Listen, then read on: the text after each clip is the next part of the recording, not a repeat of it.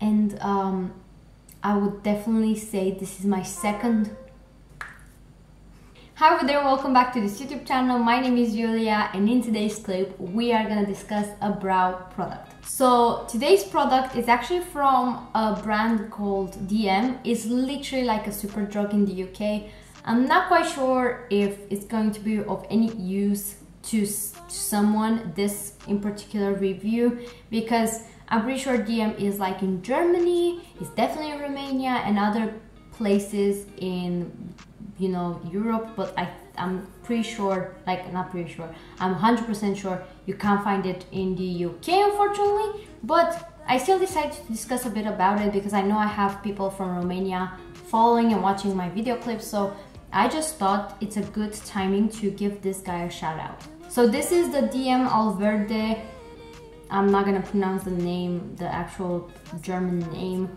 It's just a brow gel and it's in Zero Free Ash Blonde, the one I have. I also tried the Zero Two Blonde or something like that.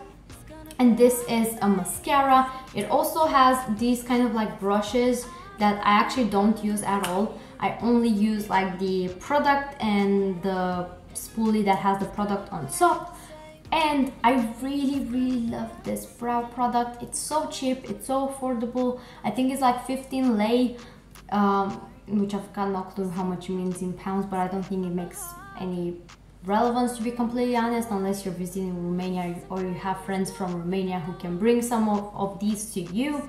But it is very cheap it is affordable it is drugstore price and it's actually a good goddamn brow product. It gives you pigmentation and it does give you definition when it comes to your brows. So I really enjoy it about that and I love it so much that I actually stock it all like loads. Like I, I think I have like three of them right now at the moment whenever I go to Romania and I'm almost finishing them. I'm always grabbing more just to make sure I'm not running out because they're just really nice and they are super quick on the go I love them really. And I think you should definitely try them out. They have a bunch of shades. This is actually really gray toned. That it's something I really love into a brow mascara and I'll definitely say this is my sec second favorite uh, after the Gimme Brow from Benefit.